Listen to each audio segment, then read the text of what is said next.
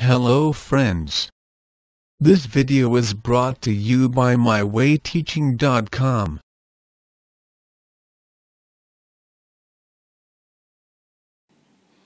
Let us start with the very interesting chapter on exponents and power.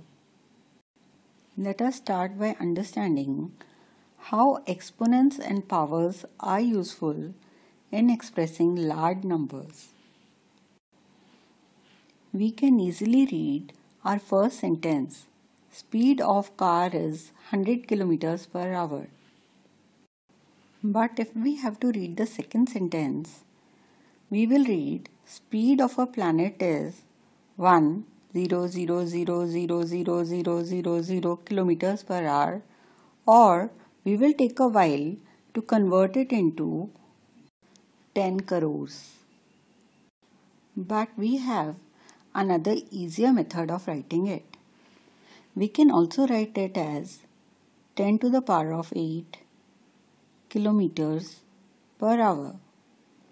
Then our second sentence becomes speed of a planet is 10 to the power 8 kilometers per hour, which is much easier for us to read. And later we will learn how it will make our calculations easier. Also from here on, we should know that 10 will be called the base while 8 will be called the power or the exponent.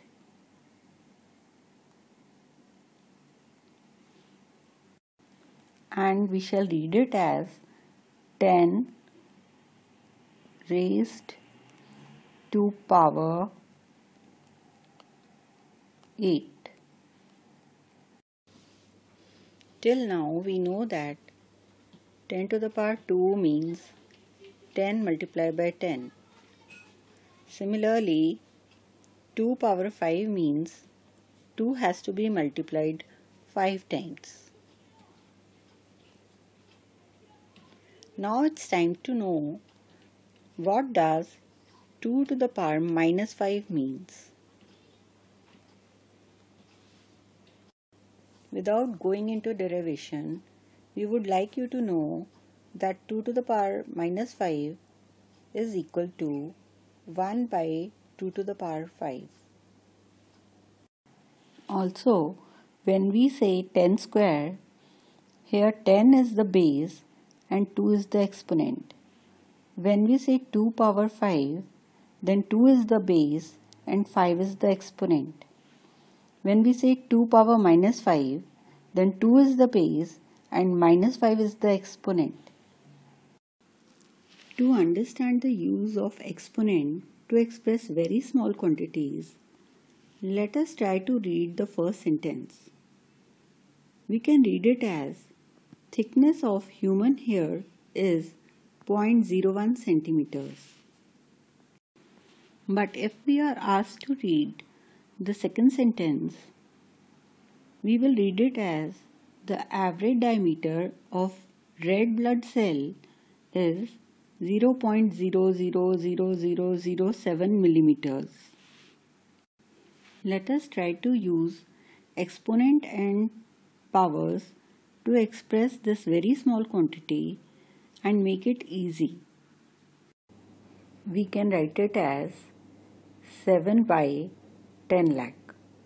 How we have done it is we have removed this point and counted the number of digits 1, 2, 3, 4, 5, 6 and move the point 6 digits so that we have 7 by 10 lakhs.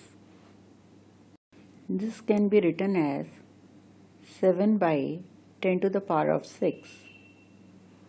Now this can be also written as 7 into 10 to the power of minus 6 we have to remember that a to the power of minus m is equal to 1 by a power m about which we will discuss further. In general, we can say that if a is any non-zero integer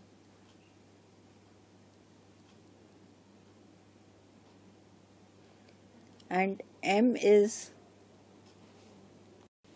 a positive integer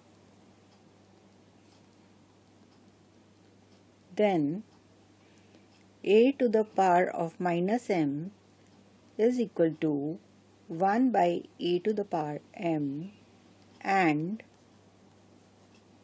a to the power m comma a to the power minus m are multiplicative inverse.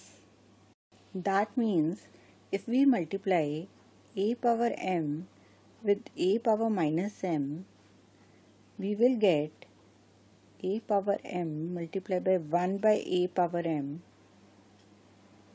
and which will get cancelled. Hence we will get 1. So if we we can say that a power m and a power minus m are multiplicative inverse.